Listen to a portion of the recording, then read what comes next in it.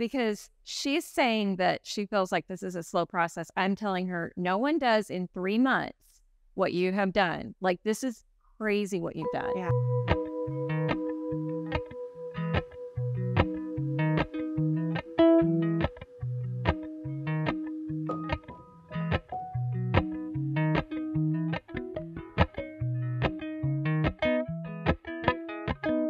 Shelby Michelle with Farmhouse Living. Welcome back to our channel.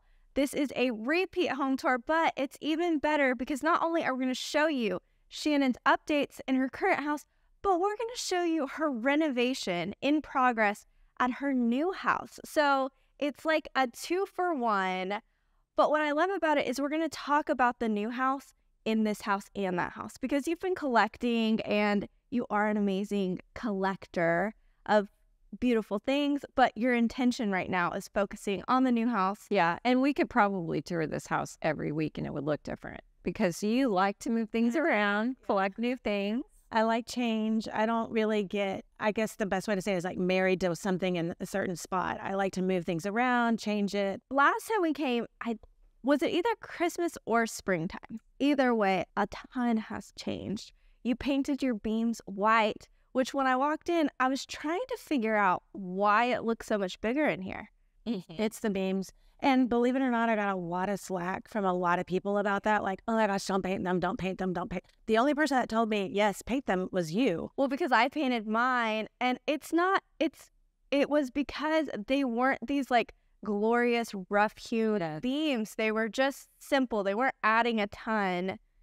Right. And Mm. these were so dark, and the floors aren't dark. There's not really a lot of dark in here or dark woods. So I just felt like then the only option was to leave them dark or paint them, and I'd rather have painted them than leave them dark. So Yeah, we did it. Looks great. So good. yeah. And other updates you've made, you've swapped out your furniture. You have these beautiful IKEA sofas and then a chair that you said was intentionally purchased for the new house. yeah, I actually just bought that chair to have and had it reupholstered for the a, a particular room in the new house, but we had to bring it in here because it would probably go bad in the garage. So I'm kind of loving it in here now. Are you going to have a sale when you go to the new house? Because there's some things I have my eye on in here. Yes, I'm gonna have to. There's just certain we had to get some new things for certain reasons, and I, I kind of feel like purging and starting new where I can. I can't obviously start new on everything, but where I can, I'm starting new, and Yeah. I'm probably gonna buy all the same look, but at least it'll be new to me. Okay, tell us about how much you spent on that chair. Well, I spent twenty five dollars on the chair, and I bought it off Facebook Marketplace because it was the right size, and I like the curves of the arms. But I was looking for in the new house, you'll see there's a parlor room, and I there's not really enough room in there for a full couch or love seat with what I plan. So I was looking for like a chair and a half, and that was the perfect size. Luckily, I'm a really good upholstery man. And ran, bought fabric, and gave it to him, and he upholstered it for a hundred dollars. Wow. So I got the whole job. I know his number. I was gonna say amazing. He's, you're gonna see in the other house, especially when it's all finished. I having him do a lot of work for me right now. Yeah, that's awesome. So one of your I would say probably the most popular talked about thing in the last tour was this hutch right here. I think it's the hutch plus the doors. It's just a moment that you want to like take it all in, lots of character. This hutch is completely different styled than last time. You how often do you change that up? Oh, I change that up probably every other. I mean, I at least change it up seasonally, but sometimes when I get bored, I'll just or if I'm shopping and see something, then I'll change it up every other month. I mean, And you're Yep. known as the bunny lady because you do love a bunny. And so you have little pops here and there of the bunnies. So typically there'll be a bunny in that hutch oh, somewhere. for sure. for sure. There is a bunny. There's there's a bunny in every room. Yeah, every time we go to estate sales, mom's like, "Should we get Shannon this bunny?" I was like, "I think she has it." I have plenty. I did tell myself I'm not buying any more bunnies. I will buy hares because they're a little unique and hard to find. But Okay. regular, just everyday bunnies, I'm not buying. So I have a real live bunny in real life. It may some of you may know, and Shannon comes over and covets. She she really needs a bunny. really you need a bunny. bunny. Yeah. Have you ever been overwhelmed on what to cook for dinner? Like maybe tonight. You have no idea. yeah, me too. That's why I was so excited when we partnered with Green Chef that they're not only delicious, but also nutritious. With two kids, sometimes I just need a break. And I love that Green Chef sends nutritionist approved recipes that are good for you and packed with flavor. Straight to your doorstep, you'll receive recipes with clean ingredients like organic fruits and veggies, lean proteins, and whole grains. Sometimes the day to day dinners just get boring and mundane, and we need something new, but in a very convenient way. One of the recipes that we had was the pesto shrimp couscous bowls. And I don't know that I've ever had couscous before, but it was so delicious that our videographer even ordered her own green chef. Like, it really is that delicious. Use my code FARMHOUSE50 for 50% off and free shipping. Go to greenchef.com for more details. Thank you so much for supporting our channel. Now back to the tour, guys. The dining room. What's different is the upholstered bench, which you said also bought intentionally for the new house, but I think it looks great here. I know, you know, I have that really long church pew that I normally have there, and I do love that also. But I, a friend of mine gave me that bench, and I had it reupholstered because my goal was to use it in the sunroom at the new house. But I had to bring it in because it can't be stored in the garage, and I kind of love it. I love it with those chairs and sit. I thought I might be getting a new table for the house over there, but now I think we'll be keeping that table, and I kind of love it. So I don't know. We'll see. This is my new favorite fabric. I can't really think of the name of it. There is a name for this particular pattern fabric, and it comes in every style and color. Yeah. And I love it. It's like a um, block print. I block think. print, Yeah. yes. And so I'm looking at doing the upstairs bedroom with some block print and our home that we're working on for a friend looking for block print. So where'd you get this fabric? That actually came from Hobby Lobby, but you know, I saw a lot in Dallas at Children's Fabrics. Okay. I had a- lot. It was hard to walk away and not buy lots of fabric. Okay, so these flowers, are they grocery store or you cut them? No, actually, I had a delivery from those yesterday. It's a new place, a local place in Rockwall called Urban Roots, and she designs flowers. She doesn't have a shop, but you can still place an order with her. And aren't they amazing? They're You got the hookups, girl. she did a huge arrangement for me, and she's probably gonna kill me when she sees this because I ended up needing flowers all over. So it was triple the size of that one, but I kind of took it apart and put it. She'll either she'll either want to kill you or hire you. Oh, yeah, she's really good. She's really good. It looks really great because you do have fresh flowers cut from your garden. Yes. Mm, but Yeah. July. Hard to get it in July. Well, and I just have been so busy with the new house that I just haven't put the time I needed to in the garden. So after when the heat came in, I kind of just let it go and Yeah. cleaned it out. And So we'll see. We'll start a new one at the new house next year. Yeah. Uh, okay, so your kitchen, everything's different. I mean, not everything. Not everything. It's a lot. We had a small leak in the freeze last year behind the dishwasher. It caused us to have to pull out all the cabinets and and redo everything. So I thought while we're doing that, we're just going to go ahead and do a kitchen remodel because everything's going to be up. We had to get new floors, we had to get new cabinets, and I don't know if I talked about it the last time you guys were here or not, but I had always said that my biggest regret in that kitchen was, you know, we had that peninsula area right there. I should have pulled that up when we first moved in and added a new island. So you've done that. And now you're moving. And now, That's how that works. You get your dream in Yeah. your house and then you move. yeah, but whoever buys this house will have a brand new kitchen. Yeah, oh. and your new house is also a dream. So I think it's For sure. Yeah. and I think these projects, after talking to you, these projects in this home give you a lot of insight on your desire for the 100%. new. Yeah. And you learn so much from doing a kitchen remodel that you don't really realize. And so doing it over there, doing it here, because we just did it here in January and we started on that one at, at around the same time. So being able to do it, I learned a lot about what not to do and what to do. And as a matter of fact, I'm doing an, a very similar island in the new house. Or the, the cabinets are in. The cabinets have started going in yesterday or the day before. So they're not finished, but the tile's going in today. So Well, Yeah. I hope so. They were there yesterday. If they didn't show up today, I'm gonna be really mad. so you never know. yeah, we'll see how the tone of this video progresses. Yes. So with the island, was your goal for it to look older? Like for it to look maybe like something from Like furniture? a hundred. I wanted it to look like a piece of furniture, but it also had to be practical, so I had to put a countertop on it. I really wanted it to look older. It does not look older, and this is what I learned, and I'm so glad I learned this. Long story short, the legs on when you're having a piece of furniture made, the legs are usually a different color wood than the rest of the island. So when you stain it, it stains two different color woods. Oh, so I'm so glad I learned that. We were able to figure it out and match it, and it took a lot of work to get it to match um, in this house. But in the new house, I knew to do that ahead of time.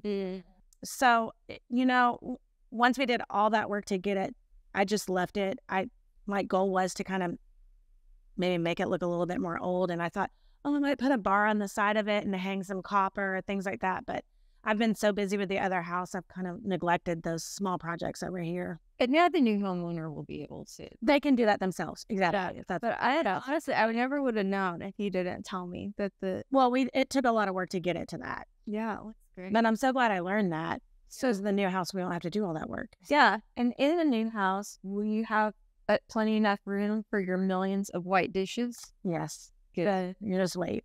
But sadly, sadly, I don't think I'm going to have room for that hutch. We'll see. I'm not. I'm not sure yet. We'll see.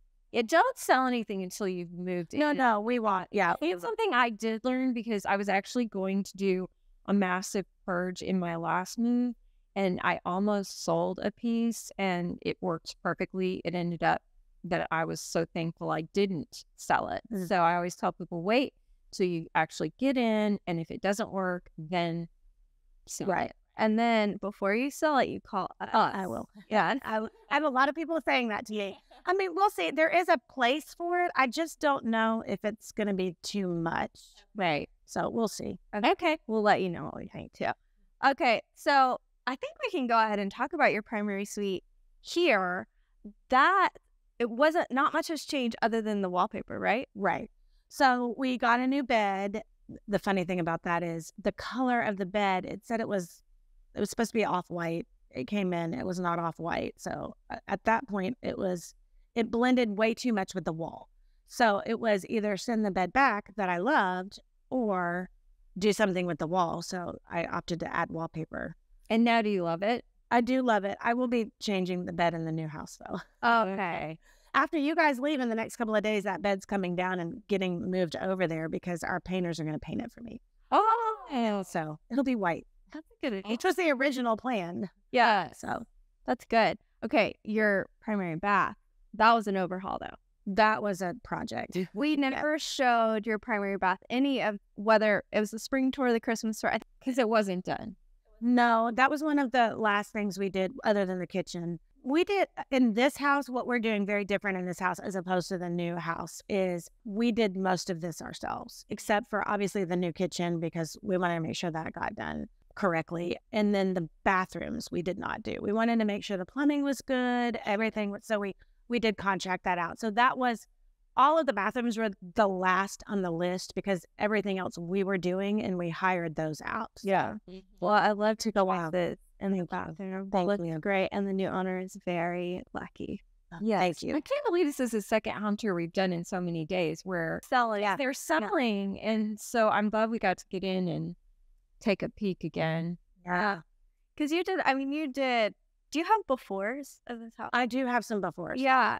I mean, even the exterior, you walk up, it's so cozy and homey. You have like the cutest chicken coop ever with your little white barn, hence your Instagram handle. You know, wait a minute. What are you going to do at the new house? You can't change your Instagram handle. You have to build a bar. Oh, I don't know. We'll see.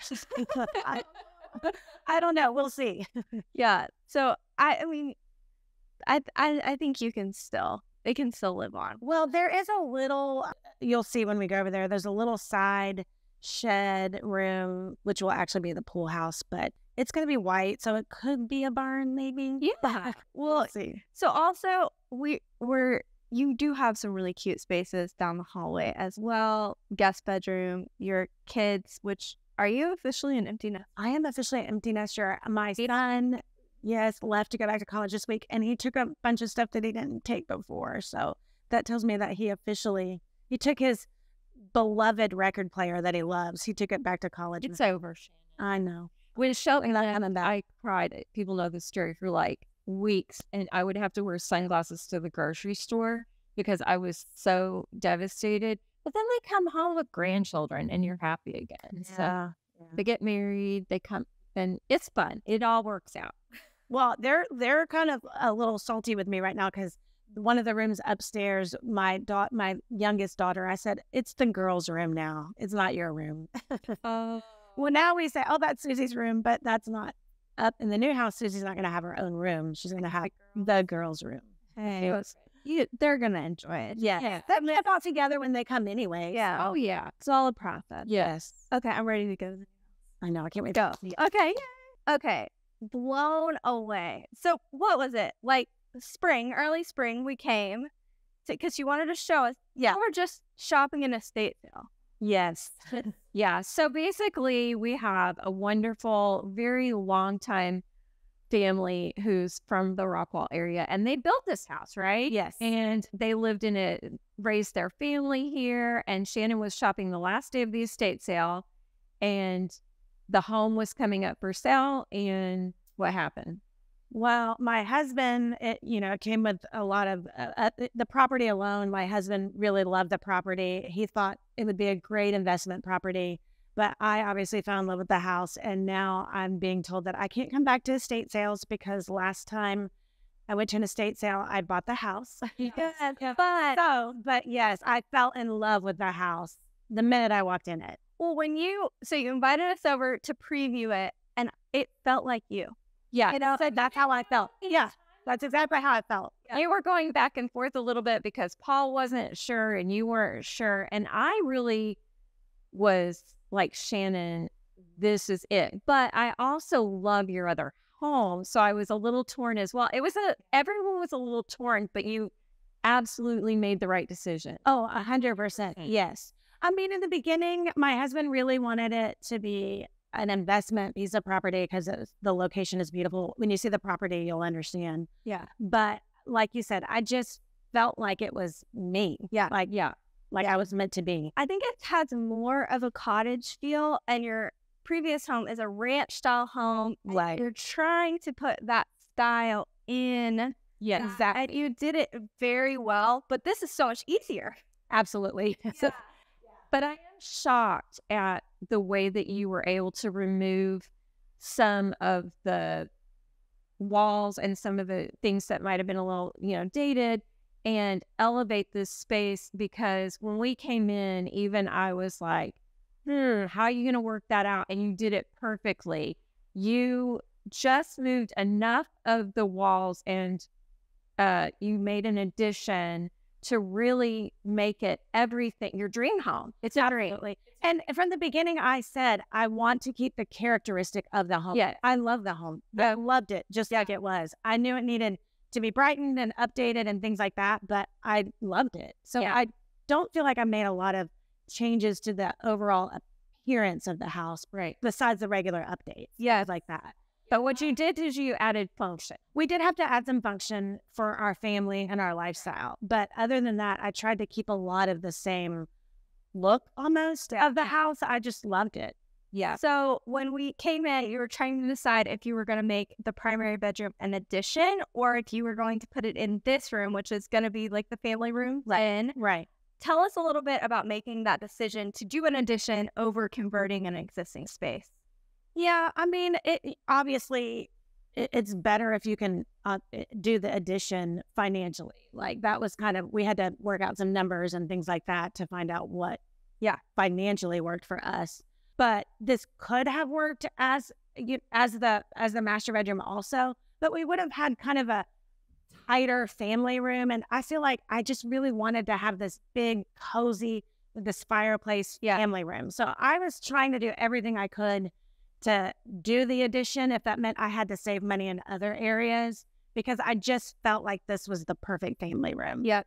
And you also did an addition for the laundry mudroom situation. Not really so much an addition, but you just moved a wall, right? Well, we just closed in a space between the porch and the garage. You had to walk in from the outside of the garage to get into the house. So we just basically closed it all in and Yeah. extended it out a little. Yeah, and your kitchen. So the kitchen was about small.